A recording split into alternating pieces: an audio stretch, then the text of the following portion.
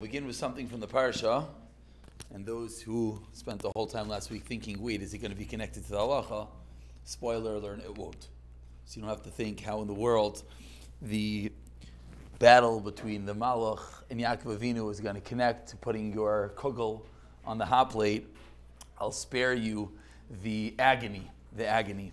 So, famous pasuk, Vayavik ish imay adaloisa shachar v'yiga b'kaf yirechai the fight for eternity, the fight that we could talk about for eternity, so much to discuss. So where where should we where should we just take out one small little nikuda? The point that we'll point out is from the Chafetz Chaim. We'll start with the Chafetz Chaim, and we'll, we'll hopefully bring out a, a short, nice point. Chafetz Chaim says, why Yaakov Avinu? Why Yaakov Avinu? Why not Avraham? Why not Yitzchak? All of a sudden, Yaakov Avinu is going back to get his pachim kitanim.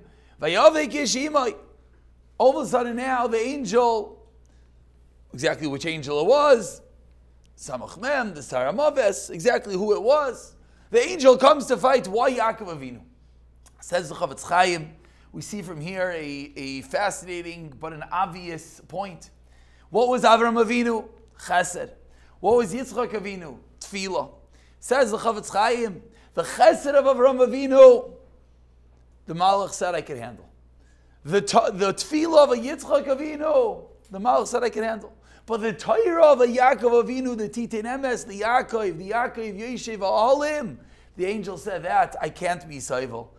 And therefore comes along the Malach, and the Malach says, with Yaakov Avinu I'm going to fight. And it continues the Chafetz Chaim, and this is the battle for eternity, and this is the battle for Torah until today. Which brings to mind the Chassam Sofer, which I'm sure everyone heard an unlimited amount of times since Simchas Torah. The Chassam Sofer says that when you're Isaac in the Milchamtei Shal Torah, it saves you from future Milchamis. The Chassam Sofer.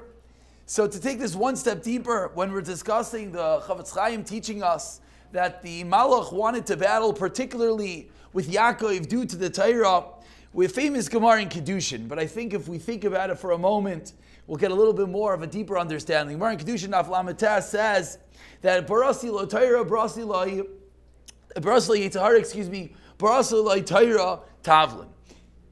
Says the ah, Hilligan Mayor's here. Okay, Mayor, we have something good for you.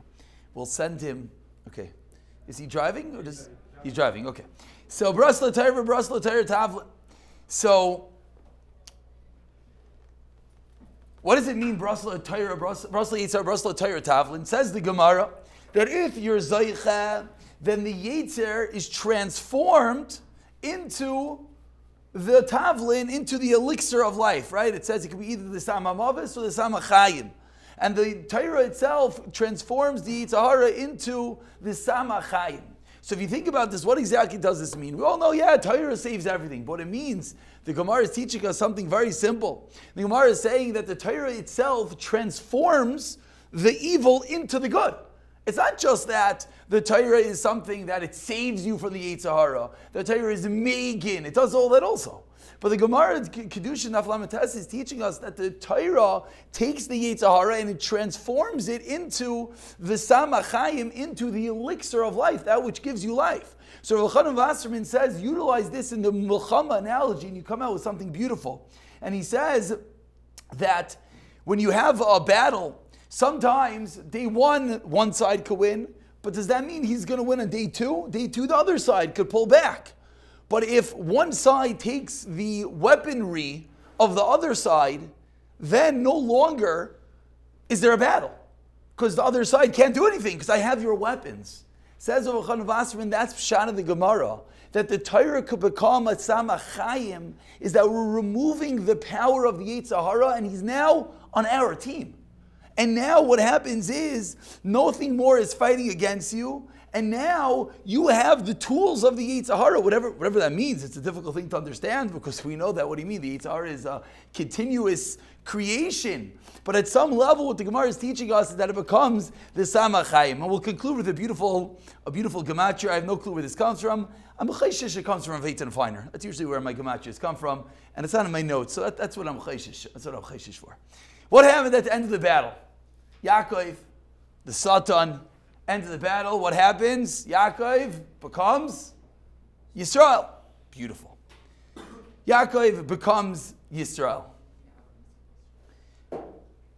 The end of the story was Yaakov beats the Satan, and Yaakov tells the Satan what? I want a bracha. I want a bracha. The bracha of the Satan was that your name is no longer Yaakov, but your name is Yisrael. Says, I don't know who. I apologize. I wish I could know who. There was a battle. When the battle was won, Yaakov didn't just destroy the Satan, he made the Satan give him a bracha. Yaakov and Satan together equal Yisrael. Absolutely beautiful. Absolutely beautiful. That when you overcome and you win the battle, it doesn't just mean that you win the battle. You transform the enemy into a piece of Kedusha. Absolutely fascinating thing to think about that you could transform a Ra into Toiv. You could take the Yetzer Hara. Does it work? Yeah, it works? Okay. I thought someone has to. Someone? Yeah, someone here has to know how to add some numbers.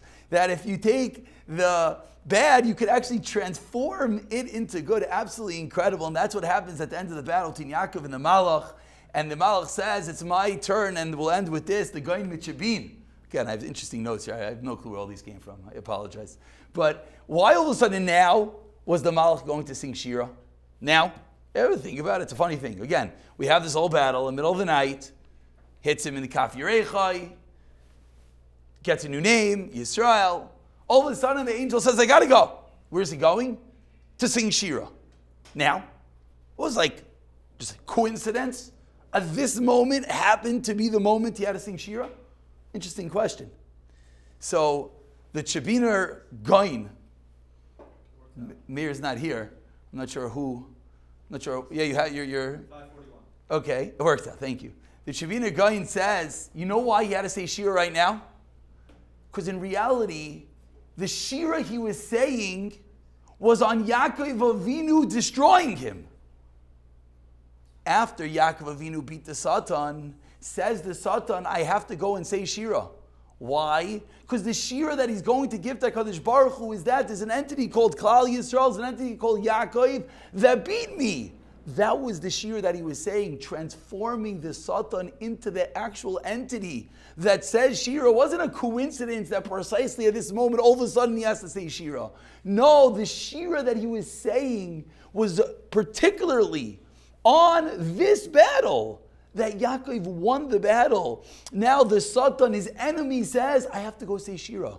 I am now going to be your greatest advocate. I'm going to go to Hashem and I'm going to sing your praises. Yaakov and the Satan, when Yaakov beats the Satan, he becomes Yisrael, we become Klal Yisrael. He goes up, he sings Shira. Absolutely incredible. And the nimshal that we take out is the Kayach HaTaira we know that every word, every bit, what does it do? Is one bit more that's going to extinguish the flames. Utilizing the words of the Chassam Sofer, that it'll be Isaac b'milchamte shal It will destroy from all milchamis. And with that,